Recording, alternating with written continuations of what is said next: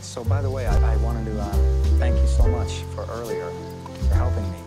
I, I honestly, I think I would have stared at those boards all day if you hadn't come up with the cellular automaton angle, so you, you rock. Just of those weird inspiration things, you know? Coming at it with fresh eyes. It's funny, because my first thought was the universal constructor approach, but then I realized doing it again, Charlie. We're talking about work. We said we weren't going to talk about work, remember? Yeah. I remember.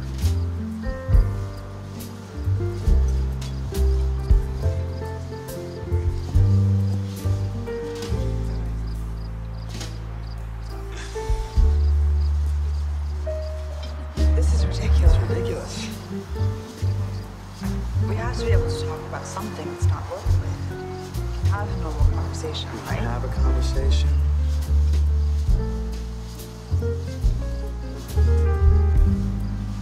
What's wrong with us?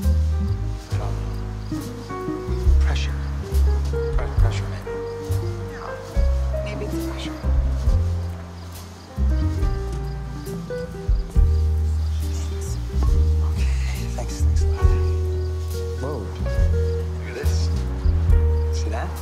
It's Romanesco broccoli. I've actually only ever seen pictures of it. And there's there's a fractal pattern in here that's amazing.